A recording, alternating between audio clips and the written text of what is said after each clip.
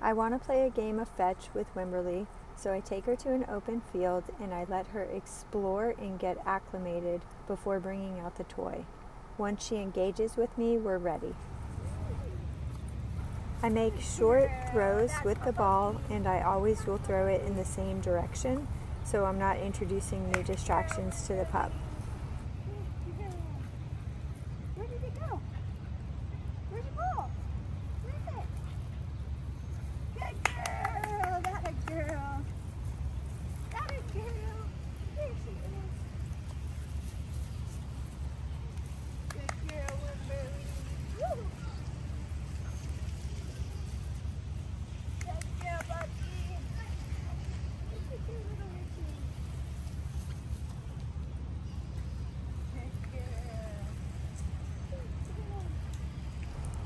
If your pup loses interest and stops chasing the ball, keep encouraging.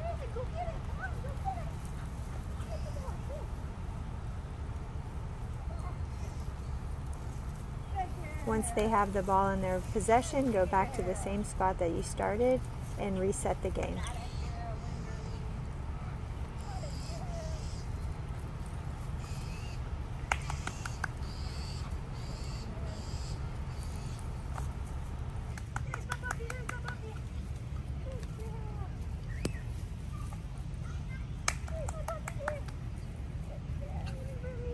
I can see that the puppy is starting to get tired and disinterested, so I want to try to end the retrieve